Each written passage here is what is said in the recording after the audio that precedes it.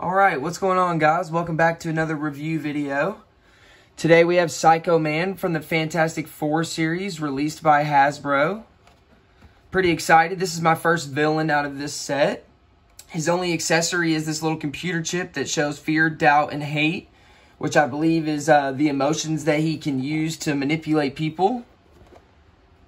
On the back of the box here shows all the figures that comes in this wave.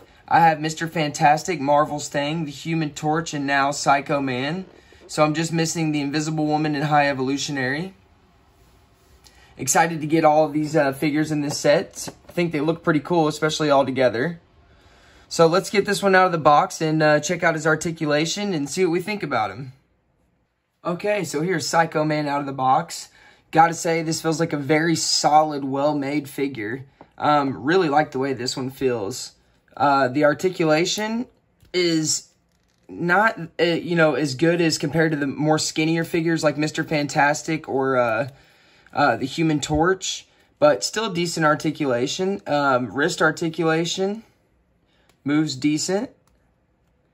Uh, bends at the elbow. You can move the arm all the way around. Head articulation. Head goes all the way around. Um, up and down, not so much but a little bit of head articulation there.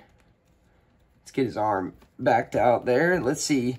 He, oh, he does twist at the uh, waist here. Wouldn't recommend it very much. It might loosen him up a lot, but he does he does twist at the waist.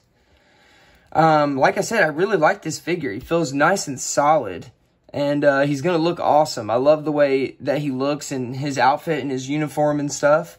Can't wait to see him with all the other figures. Uh, I love the detail in the face. Looks pretty good. Overall, a very nice figure. Definitely would recommend this figure for anyone that's collecting the set and maybe doesn't want to get the entire set or just wants to get the villains. These are really cool villains um, from the Fantastic Four. Uh, let's get him with his accessory here and see what that looks like. So Mr. Psycho Man here barely wants to hold his uh, computer chip. It, I don't really understand how you're supposed to put that in his hand and, and make it look decent. So that's about as good as I'm going to get. You can see it barely sits in his hand. And uh, yeah, I don't know if I'm really liking that very much. I mean, this is how I'm going to have him posed, just, you know, to use his accessory that it came with. But not a fan of the accessory on this. But overall, the figure's awesome. Very solid, well-made figure. And let's get a shot with uh, all of the ones that I have from this set now so far. And here they are all together. They look great. We have Marvel's The Thing, Mr. Fantastic, The Human Torch, and now Psycho Man.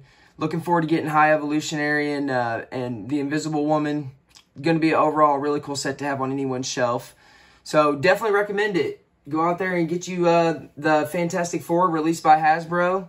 And thanks again for tuning in to another review video. Please like and subscribe if you feel so inclined. And I'll see you guys in the next one.